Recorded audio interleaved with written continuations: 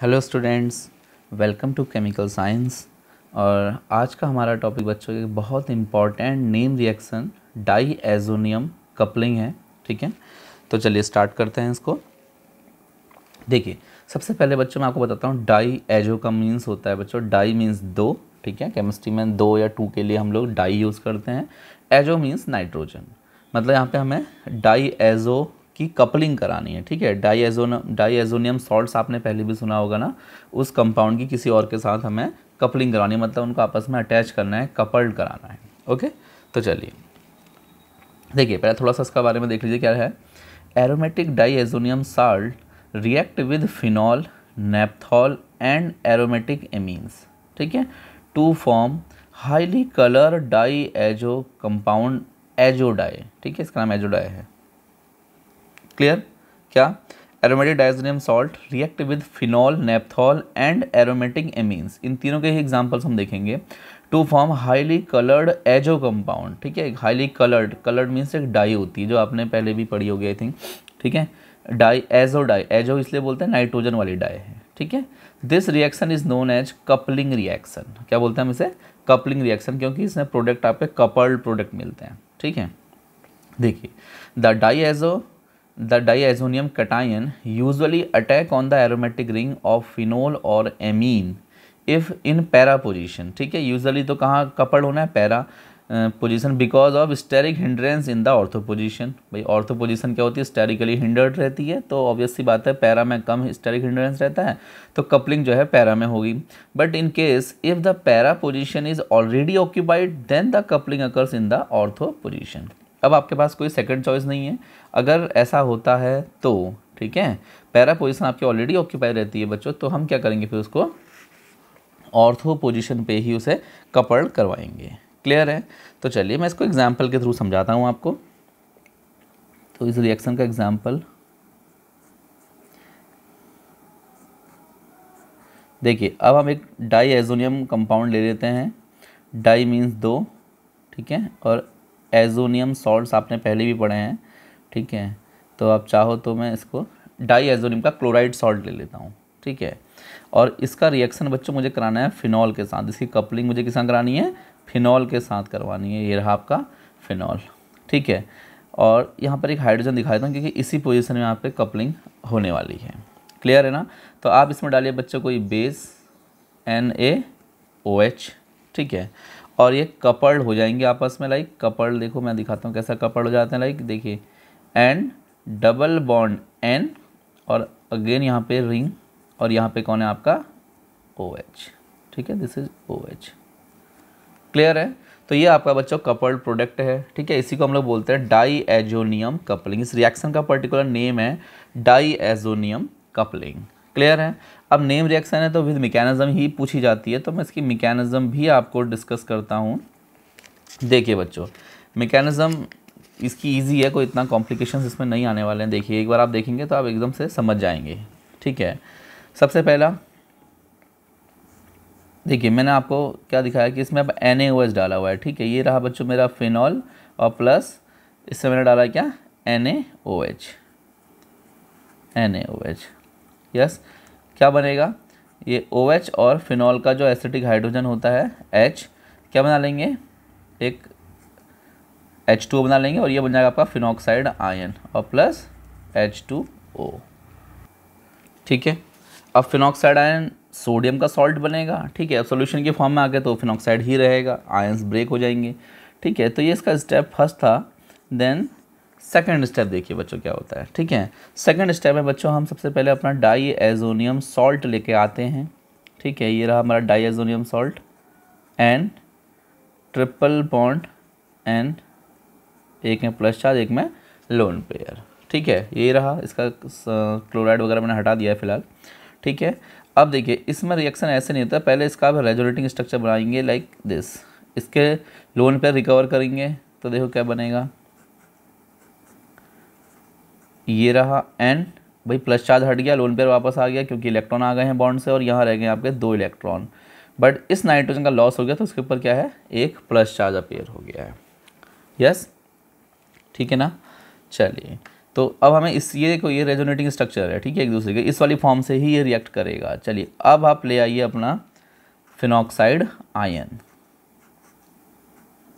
ये रहा बच्चा हमारा फिनॉक्साइड आयन ठीक है?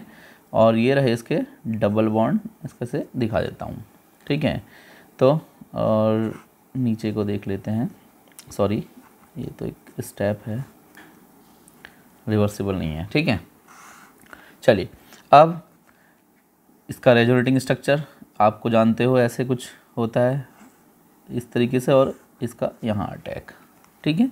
क्या होगा? ये डबल बॉन्ड यहाँ शिफ्ट होगा, ये डबल बॉन्ड यहाँ आएगा, पहले नेगेटिव फॉर्म में।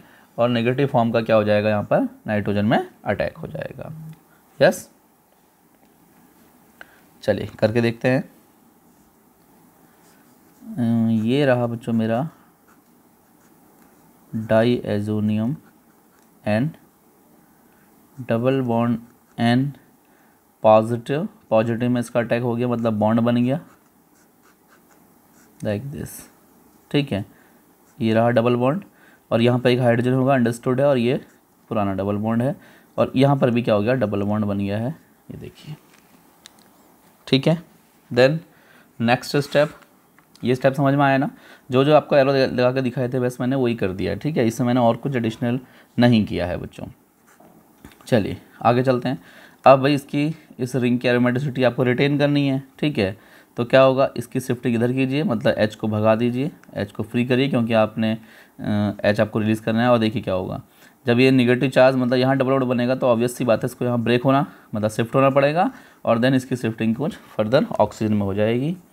अब जो आपका कंपाउंड बना है like N double bond N and single bond like ये हो जाएगा, देखिए ये डबल बॉन्ड यहाँ पर नया डबल बॉन्ड यहाँ पर भी ये शिफ्ट होकर जो बना था, ठीक है? और single bond O negative clear है? और यहाँ से आपने ये करा है? माइनस एच पॉजिटिव किया है, ठीक है? एच पॉजिटिव वहाँ लग जाएगा। यस तो ये आपका क्या बन गया? कपलिंग रिएक्शन हो गई है। और ये आपका एक डाई एजोनियम कंपाउंड बन गया है, ठीक है? ये डाई एजोनियम डाई है, एक तरीके से देखा जाए तो ठीक है? Azo dye azo means nitrogen dye मतलब कलरिंग कंपाउंड क्लियर हुआ? तो चलिए, एक एग्ज़ाम्पल और डिस्कस कर लेते हैं, ठीक है? अभी जो हमारा एग्ज़ाम्पल था बच्चों एल्कोहल वाला था मतलब फिनॉल का, वैसा करते हैं एमीन्स का कर लेते हैं, ठीक है? एरोमेटिक अमीन का। तो वो भी बहुत सिंपल है। देखिए। तो स्टेप फ़र्स्ट या पहले ऐसा करते हैं रिएक्शन लिख लेते हैं। ये हमारी कंप्लीट रिएक्शन हो जाएगी बच्चों इसकी। कुछ इस तरीके से, ठीक है?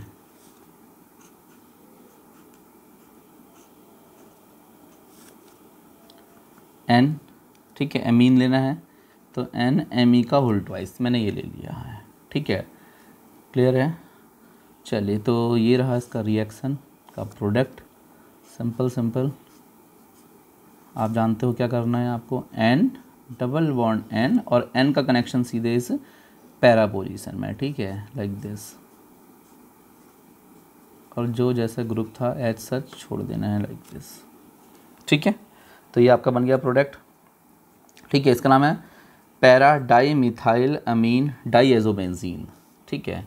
चलिए तो इसकी, अब इस रिएक्शन का भी मैकेनिज़्म देखते हैं. इस रिएक्शन का मैकेनिज़्म भी बहुत ईजी है, जैसे आपने पहला वाला देखा था, बिल्कुल सेम एज इट इज़ है ठीक है?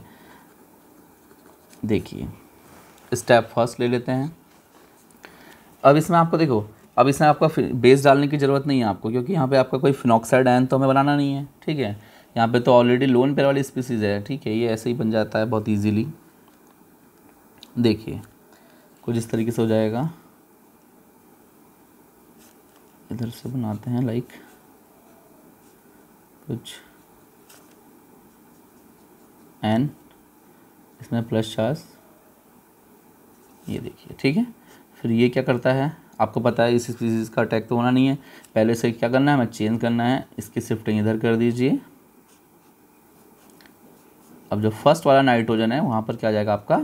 प्लस चार्ज आ जाएगा लाइक ये देखिए। ठीक है? अब इसमें बच्चा आप अपना सेकेंड रिएक्टेंट मोलिक्यूल ले आइए, जो आपका एमीन है। तो ये रहा बच्चा आपका एमीन एन एम ई का होल ट्वाइस और जो डबल बॉन्ड जैसे थे, आप वैसे ही बना लेंगे तो कैसे ही बना लीजिए तो बस आपको साइड चेंज करनी पड़ेगी, ठीक है? आप ऊपर नीचे बनाएँगे तो आपको इधर की साइड से शिफ्टिंग दिखाना पड़ेगा, ठीक है? तो क्या है कॉन्जुगेटेड मॉलिक्यूल है ना, कहीं से भी दिखा लीजिए। चलिए, करते हैं स्टार्ट क्या होगा? शिफ्टिंग इसकी शिफ्टिंग और इसकी शिफ्टिंग इधर। ठीक है? बिल्कुल एज इट इज़ चल रहा है। जैसे अगर आपने पहला वाला एग्ज़ाम्पल अच्छे से देखा है तो आप खुद ही कर लोगे बच्चों। तो ये रहा हमारा एन डबल बॉन्ड एन और ये रहा लोन पेयर इसके पास भी लोन पेयर और इसके साथ सिंगल बॉन्ड पैरा पोजीशन से लग जाएगा। बट यहाँ पर एक हाइड्रोजन भी होगा, ठीक है? एक डबल बॉन्ड ये शिफ्ट हुआ है, यहाँ पे ऑलरेडी है और यहाँ पर यहाँ पर double bond N M E का hold twice with plus charge clear ठीक है ना? देन आगे बढ़ते हैं। अब शिफ्ट कीजिए। अब इसकी एरोमेटिसिटी आपको वापस लानी है तो एच पॉजिटिव हटाइए और इस बॉन्ड को यहाँ शिफ्ट और इस बॉन्ड को इधर शिफ्ट ठीक है? तो क्या बनेगा देखिए। एन डबल बॉन्ड एन और सिंगल बॉन्ड अब यहाँ पे आपकी रिंग बन जाएगी, ठीक है? रिंग मतलब ये, डबल बॉन्ड ये और डबल बॉन्ड शिफ्ट होकर ये और ये single bond N M E का hold twice with one lone pair. देख लीजिए। समझ में आया? ठीक है? बस यहाँ से आपने करना है? माइनस एच पॉजिटिव करना है, ठीक है? वो एच पॉजिटिव उसके सी एल नेगेटिव अगर एच सी एल बना लेगा। वो बाई प्रोडक्ट है, हमें उनसे कोई लेना देना नहीं है फ़िलहाल, ठीक है? तो जो प्रोडक्ट है, इसका नाम लिख देते हैं। This is para di methyl ठीक है? देखिए, क्या है? पैरा में क्या है? पैरा में प्रोडक्ट है ना ये? ठीक है? जैसे पैरा डाई मिथाइल एमीन या amino amino azobenzene.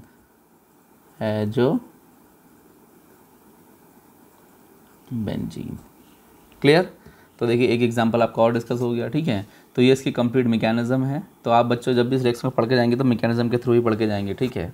एग्ज़ाम में आपके आती है और मैकेनिज्म के थ्रू ही आती है। चलिए, और एग्ज़ाम्पल देखते हैं इसके। हमने एक नेपथॉल वाला एग्ज़ाम्पल भी लिखा था, ठीक है? उसको भी डिस्कस कर लेते हैं, वो भी आपसे पूछा जा सकता है एग्ज़ाम में। तो नेक्स्ट एग्ज़ाम्पल ठीक है? एल्फ़ा नेपथॉल ले लेते हैं, ठीक है? एल्फ़ा नेपथॉल तो देखिए, ये रहा आपका diazo compound N triple bond N C L negative N positive ठीक है? प्लस एल्फ़ा नेपथॉल ले लीजिए नेपथॉल आप जानते होंगे? ये देखिए, ठीक है? अल्फ़ा पोजीशन में तो ये इसका अल्फ़ा कार्बन यहाँ पे क्या है आपका?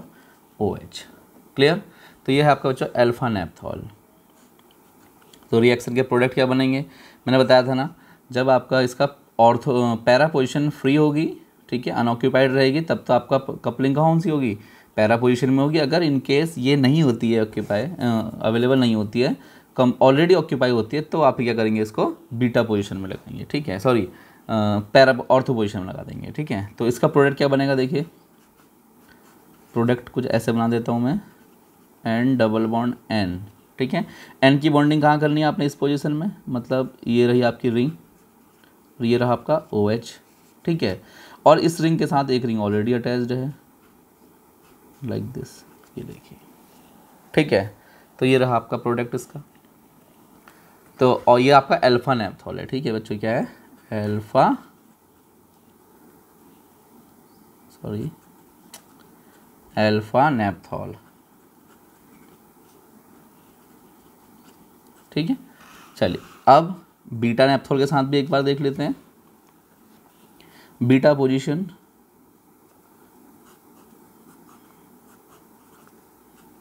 N triple bond N C L negative positive plus अब आपको लेना है पे बीटा नेपथॉल, ठीक है? तो मैं बीटा नेपथॉल बना के दिखाता हूँ आपको। ये रहा बच्चों, ठीक है? अल्फ़ा, अब अल्फ़ा पोजीशन नहीं बनानी, मुझे बीटा बनाना दिस वन इज़ बीटा तो ये रहा आपका बीटा नेपथॉल, ठीक है? आप चाहो तो मार्क कर अल्फ़ा, बीटा, ठीक है? गामा और डेल्टा, इस तरीके से होता है। चलिए, अब अब क्या है? अब इसकी पैरा पोजिशन तो ऑलरेडी ऑक्यूपाई है यस तो आपको फिर ऑर्थो पोजिशन पे ही जाना पड़ेगा। ये रहा इसका ऑर्थो पोजिशन एन और कुछ इस तरीके से उसके साथ एक रिंग आपकी और है। ठीक है, अब ये क्या है देखो, इसका ओ एच कहाँ था? इस वाली पोजीशन में, ये इसकी रही ऑर्थो और ऑर्थो में आपका कंपाउंड बना हुआ है। ठीक है क्लियर हुआ? यस एक लास्ट एग्जांपल और डिस्कस करते हैं। ये भी आपके कभी एग्ज़ाम में आया हुआ है बच्चों, ठीक है? प्रीवियस ईयर में आया था। तो थोड़ा सा मैं इस बार घुमा के लिख दे रहा हूँ। यहाँ लिख दिया था मैंने एन टू सी एल ठीक है? ये आपका कोई डाइजोनियम कंपाउंड है, ठीक है? प्लस इस पर भी मैं ले लेता हूँ आपका कोई फिन एल्कोहल मतलब फिनॉल सॉरी और यहाँ ले लिया मैंने, देखो, इसकी पैरा पोजीशन को मैंने सी एस थ्री से ऑलरेडी ऑक्यूपाई किया हुआ है, ठीक है? अब आप जानते हो कंडीशन अगर पैरा पोजीशन आपकी ऑलरेडी ऑक्यूपाइड रहती है तो फिर अटैक कहाँ होता है? ऑर्थो पोजीशन में आ जाता है ठीक है? तो ऑर्थो किस पोजीशन में? चलिए प्रोडक्ट बनाते हैं। तो प्रोडक्ट कैसे बनेगा आप जानते हो? ये रहा रिंग और ये रहा N double bond N N के साथ सिंगल बॉन्ड और सिंगल बॉन्ड का अटैचमेंट रिंग में आप फ़िलहाल कहीं भी कर दीजिए। ये लीजिए मैंने कर दिया कहीं भी। बट कहाँ करा है? आपको पता है जब अटैक हुआ होगा ये ऑर्थो पोजीशन में हुआ होगा मतलब इस पोजीशन में। तो इसके नेक्स्ट में कौन है? ओ OH, तो आपका मन करता है आप कहीं भी ओ OH लगा दीजिए इसके किसी भी साइड ठीक है, कुछ इस तरीके से हो जाएगा। देन उस ओ OH के जस्ट अपोजिट साइड मतलब सी एस थ्री में, यहाँ क्या है? सी एस थ्री पैरा में।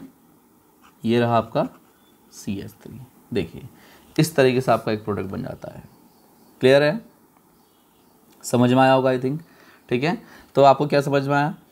डाइजोनियम कपलिंग मैंने बताई आपको, इसकी मैकेनिज्म बताई, और सबसे इंपॉर्टेंट बात अटैक कहाँ होता है हमेशा? डाई एजो कपल कहाँ पे होता है बच्चों? पैरा पोजिशन में होता है। But in case para position already occupy है तो फिर आपको कहाँ जाना है? ऑर्थो पोजिशन में मूव करना है। क्लियर हुआ? तो ये बच्चा आपका डाइजोनियम कपलिंग था। इंपॉर्टेंट नेम रिएक्शन थी। यहाँ से कई बार एग्ज़ाम में क्वेश्चन आया भी है। ठीक है? तो चलिए, अभी मिलते हैं नेक्स्ट लेक्चर में।